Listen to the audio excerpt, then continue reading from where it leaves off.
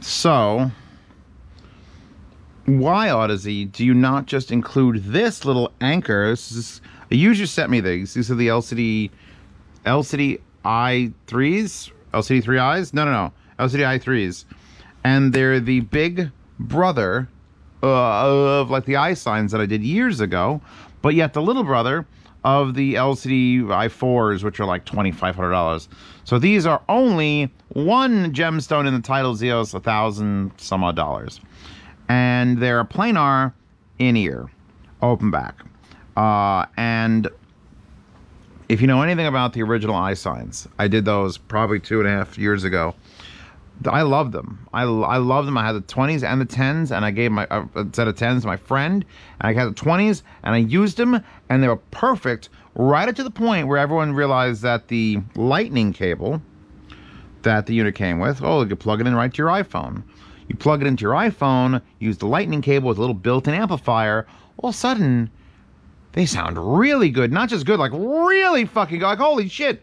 And they were DSP correcting the absolute flaws in the headphone, or I guess ear speaker.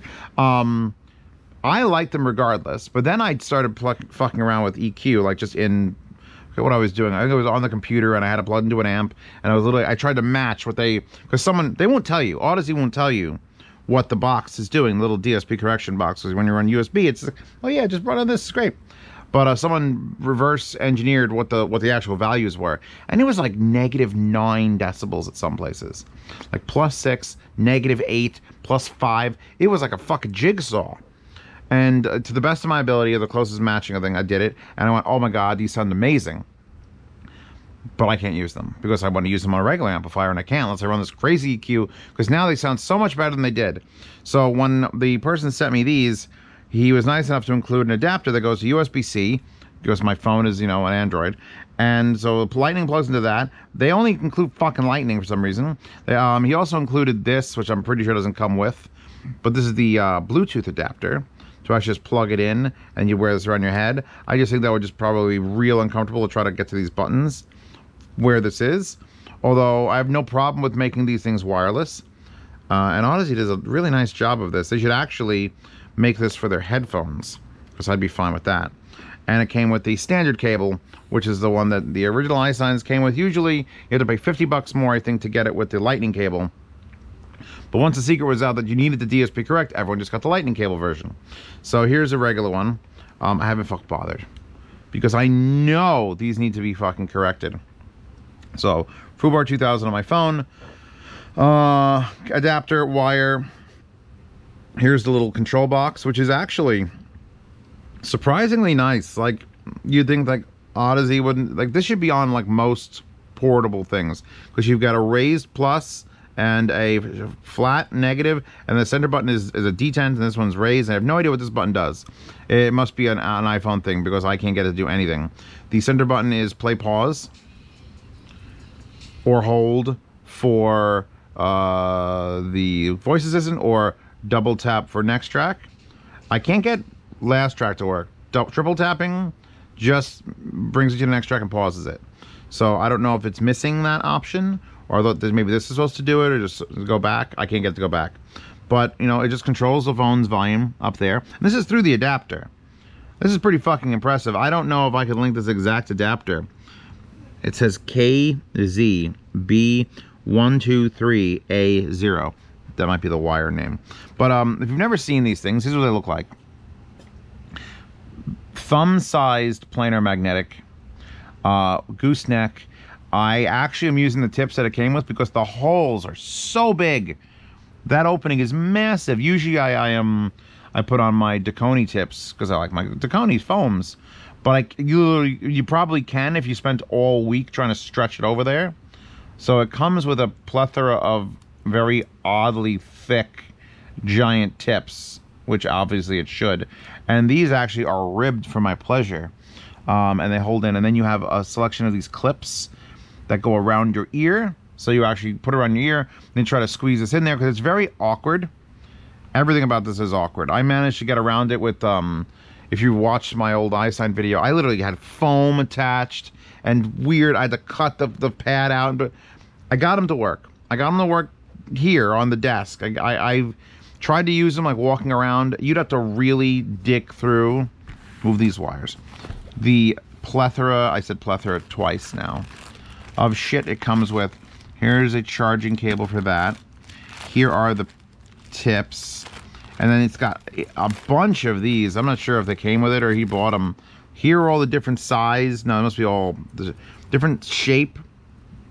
Actually, they're all the same shape. For the clips, because apparently you're going to break them, so they give you like a fuckload of them. And then they also give you, where are they? Hold on, I'm digging through. I'm digging through. Here's all your tips. Yeah, yeah, they give you these little silicone fuckmadingers. It's a very, very complicated scientific process to make call them that. Like these things, which are designed to go over it, and then that would hook into your ear lobe thing inside. And I'm just like, ah. For a thousand dollars, I could buy like Nannas, and they're just IEMs, and they go in your ears. The question is, do these sound as good as Nannas? They sound different.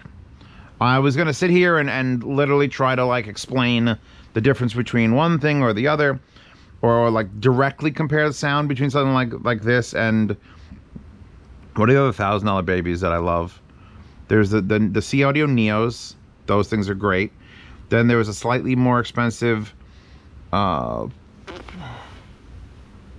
yeah, I'll link two or three a thousand dollar IMs. I don't. I can't remember names anymore. My the first thing that hits you in this is bass. And I mean bass, like low end fuckery. Just, it wasn't every track. It wasn't like every track sounds bassy now. But I got to one that was like, oh, this is hip hop. They're going to turn the bass up to 11 and then smash you with it. And it smashes hard because it's a thumb sized planar driver in your ear. Now, that's not its only parting piece. It also does really good fine detail. It's a thousand dollar revision of it. Obviously, DSP corrected with all this shit. Um, everything feels very close though. Like it feels like I'm wearing a planar headphone, a big, expensive, you know, angry planar headphone on my head, as an IEM. But it's not very wide. Like I've actually had IEMs sound wider than this, and you would think that it's the fact that it's a planar sitting around, you know, they could do that. And I, eh, it's it's an aggressive sound. You put it in, and you put Lorde on, you put something else on, and it sort of hits you in the feels, but not like the emotional feels, like the oh god feels. Which Audeze tends to do with their higher end line, like the LCD threes and LCD fours. I think are sort of shouty to, to Look how good I am. Look at the quality of the fucking. It's like ah. That's why I like LCDX. They're a little more laid back. These are not laid back. Not even slightly laid back. Um, so you're going to be dealing with that. But overall, thousand dollars for this probably worth it if you if you've ever experienced like the gold planar ones and those are the GL20s and the original iSines 10s or 20s and you're like you know what I want the next step up this certainly is that. There's definitely more refinement to the driver. They've they've tweaked the DSP. You got you got to run it. That's another thing. You can run it with just a cable off of any amp. That is not its full potential.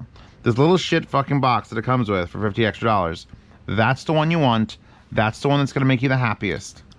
So the, the negatives are you basically have to run it off USB adapters or Lightning if you really want to get everything out of it, or you got to buy the Bluetooth adapter, which I think some people are going to be like, ah, but I don't want to run a Bluetooth ZS. I'm a fancy audiophile.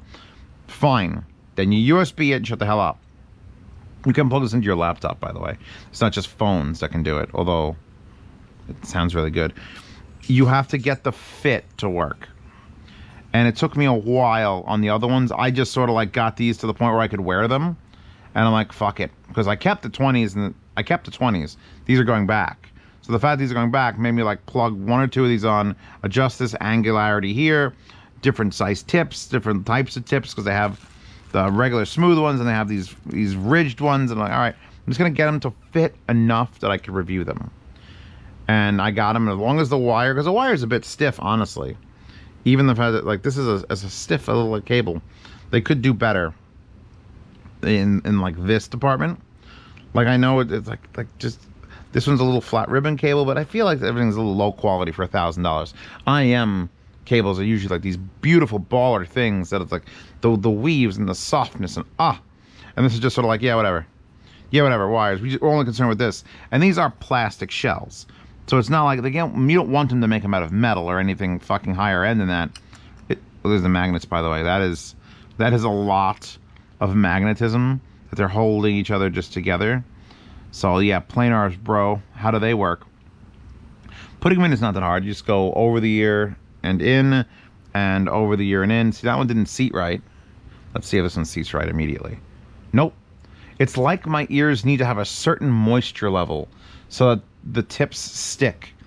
So let's, let's manipulate them a little bit. Up, up, in, pressing in with the finger, just fingering it in. That's loud. I'm going to lower that. Yeah, I could hear every little detail in this song. This song has fake vinyl grain, like vinyl clicks and pops, and they're inside my head. They're like completely fucking just smashing me in the ear holes. And I think that's what you want. I think. These are not a laid back, like, oh, I'm just going to chill. These are like, you want to impress somebody. You put them, put on the LCD i3s on them, and you'd be like, hey, here's a song you've heard a million times. Now hear it for the first time. Um, piped directly to your ear holes. The, the narrow soundstage gets to me.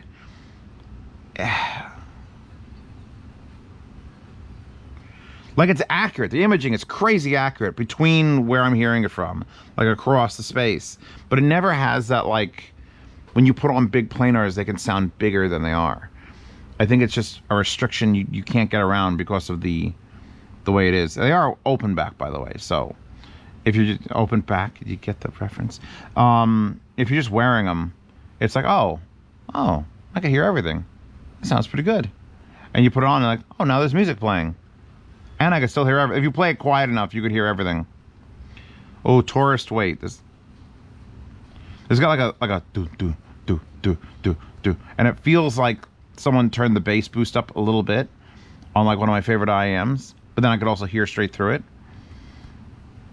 Run the jewels. See, I'm adjusting it, and now it's fun. It's better. It's, it's got such a small tolerance to placement that if it's just not perfect, it doesn't sound as good. And you're like, oh, why did I spend money on these? Then you get the placement right. You get it to like lock it and seal on your ears or in your ears, and it's worth its price. But as soon as you wiggle your head and the wire drags across, like just now, it's falling out. I, would have to really, really seriously sit down with like a million tips and try to get it to fit perfectly, and then stay. Because just because it has this doesn't mean it's staying. It, it, it's it hinges out of my ear, so that that that's not moving. But this is just doing its thing, and it's like like go in, stay in. Just permanently glue them into your ears. That's what you're gonna end up doing. So yeah, I'm I'm gonna I was gonna do this a combo review of this and the other set he sent, which are the Cardas uh, A8 Anniversary Edition, which I'm just going to tell you these are very nice. Hold on, in fact, I have I haven't listened to them in like a week. I'm gonna pause the video. I'm gonna make it a little tack on to the end because it's like $350, and I want to talk about the cable. So one second. I don't know if it's because I'm coming off of the LCD i3s but I was I started saying, oh, these are nice uh, and they're okay. They're nicely built. The wire is nice. It's a Cardas wire, but these have like nothing going on that makes me want to listen to them. They're so polar opposite of like that. They're just dark, and occasionally they have like, oh, I could hear the sound. No, further away. Ah. I, I guess it depends so much on music. They're like veiled.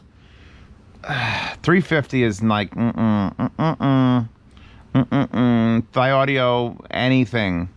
Zeos, figure out a Thieaudio $350. $350 Thieaudio something. Legacy 5 will just destroy these as far as like sound quality. I put my own tips in them, obviously.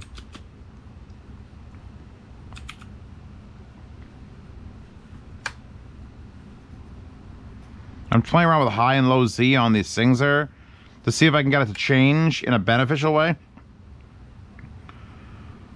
They had a decent low end rumble for a bit. Like a couple songs, I was like, oh yeah, okay. Craddies into the Labyrinth.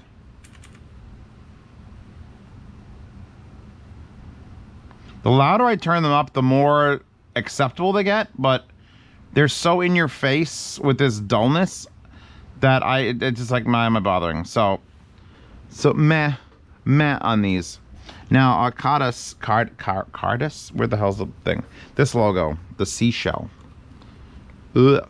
Um, this I sell seashells by the seashore.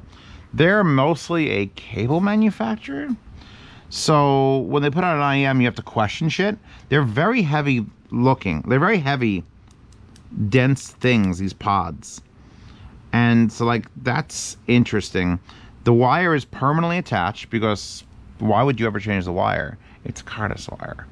Obviously, it's exactly what you want. You won't need any sort of stupid adapter because 2.5 is the only one you want. So the owner included a two, uh, 2.5 female to 4.4 Pentaconn, luckily. I kind of like the right angle. I am not opposed to this right angle, although this doesn't flex at all. This is like filled with steel. So there's an, a permanent 45 degree bend into what can only be described as like a Dr. Seuss wire. Like it's so weird. It, has got like a, a winding wrap around it, but it's a soft wire in the middle, like you could squeeze it, and it flexes. Like I don't, I don't hate this. I don't hate this. I wish it came for other headphones. And then you get this, which is like, okay, so you got a permanently affixed cables to the actual IEMs. Then you got the little slider, has the Cardas logo. Then you get a three and a half millimeter female. So you could legitimately get other cables for it. But then you have to buy, because there's a little notch right here if you want to get it to lock in place and not spin, which doesn't actually work, by the way. So then you get three and a half millimeter that leads down to this thing, which leads down to the two and a half. It's very strange. I don't hate this system, although I do hate the fact that the wires are permanently attached to the IEMs, which are a nice blue. I didn't point out how nice a blue these are. Um, little red and blue indicators, different sizes, which pisses me the hell off. But nice strain relief. I just wish they sounded good. I mean, for for 350, I would pass. Um, what could you use this for? What could you could I use this for anything? Like this sort of cable? Because it's it's really it's fucking nice. I just know it's overpriced as hell. This is gonna be overpriced as hell, Cardas. Cardas. Um, and actually, all this is rubberized too. So I don't hate this bit. It certainly blows away the Audeze for fucking cable like quality. Oh, it's a FiiO adapter. I didn't even realize it said FiiO on it. Does FiiO sell this? I wouldn't be surprised if FiiO sold this. I've just never seen it before. Twists are a little uneven. So yeah, these are a meh, and these are an excellent if you can get them to fit right. So that's that's it. I'm just gonna give these a meh, interesting, cute wire concept. I like the way it feels and looks, but the sound is not there. This the sound is not there. I'm I'm probably way biased because I've been listening to these, and if I gave these like two days of an un- unadulterated listening, I might find some magic in there. But at this point, if you can't perform the moment I need you to perform, get fuck off my table. These, however, you put on and you know you're listening to a thousand dollars in IEMs, so or in-ear monitors. Uh, that's it. I'll, I'll link to these both still on Amazon. Link to those, links to this. I'll see if I can find a link to an adapter. I don't know if any USB-C to the Lightning adapter will work or it's a specific one that's designed for like audio, but there's that. Um, I want to thank the person who sent them. I have to get them back to him also, like soon. Clock is ticking. That wallpaper, when it's open back, um, is available in the description. Uh, Patreon and Subscribe Star, you get to see these reviews early, get to participate in the yard sales which these will not be in because they're going back to their owners. And you might even get to see sound demos. Certainly all the block sound demos will be available to my $5 patrons and up, or any patron. I don't know if I'm going to get every patron or just $5 and up, because then I have to do a whole other tier thing. Basically, if you patronize my channel, minimum is usually five bucks because you want to see reviews early and you want to participate in the yard sales and you want access to all the band sound demos. The band sound demos, they're all been martyred by the YouTubes. Actually, they were martyred by the lawyers from Japan but then YouTube was like, eh, I'm like, eh. So I'm like, oh, I'll put them on the fucking thing. So if you want to hear my old sound demos, you want to see reviews early, and you want to participate in yard sales, three reasons to join my Patreon. There's a fourth reason, a $10 reason. If you join for $10 or higher, you get the behind the scenes Telegram chat where you could ask me any questions you want because I'll read the comments occasionally and I'll occasionally hang out on my public Discord and I'll occasionally hang out on the public Telegram. But if you really want to like quiz me on speakers, headphones, surround sound systems, theories, concepts, hazios, what's coming up in the future, if you want to be in the know and behind the scenes, ten dollars puts you in the behind the scenes private Telegram chat, and that's where you want to be. So there's that. There's me, and that's it. I'm done. Uh, are we done? Am I done? Good. I'm gonna wrap all this stuff up. I'm gonna go buy Chewbacca some food, and then we'll, I'll see you in two days. No sound demos associated with anything here, unfortunately, or fortunately, depending on how it looks. And uh, goodbye. Hope you enjoyed your stay. Um, what did you? What were you daydreaming about while you were watching this? Tell me your daydreams. I used to daydream about awesome stuff as a kid.